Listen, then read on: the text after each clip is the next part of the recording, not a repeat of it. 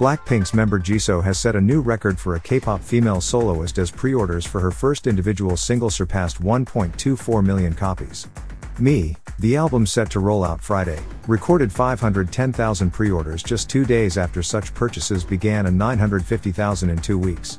Requests for purchases have been active not only in Korea but also in North America, Europe, China, Japan, Southeast Asia and other parts of the world.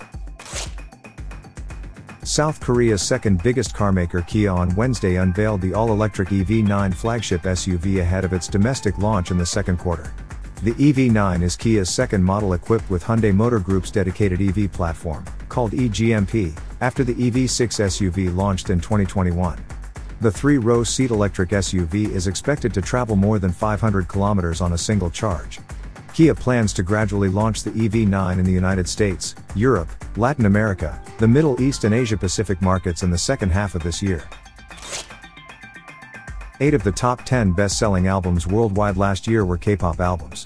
According to the Global Album Sales Chart 2022 released by the International Federation of the Phonographic Industry, albums by K-pop acts swept 8 of the top 10 positions on the chart.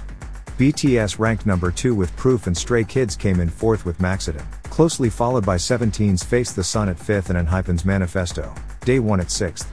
BTS, in particular, charted in the top 5 for the third consecutive year.